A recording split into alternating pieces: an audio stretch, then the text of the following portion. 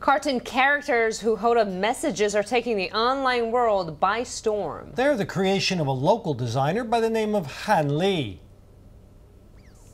It doesn't take long for this designer to create a cartoon character. He is Han Lee, creator of the popular internet site Haniboi.com, which features cartoon characters holding up signed placards.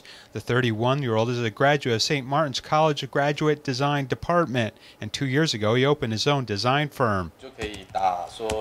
You can type out what you want to say, then directly download the image from the website. You can then post it to your Facebook page.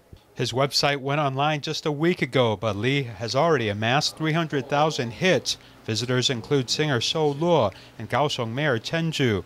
Lee was originally interested in font design and soon took an interest in designing these cartoon characters. He also does limited edition work.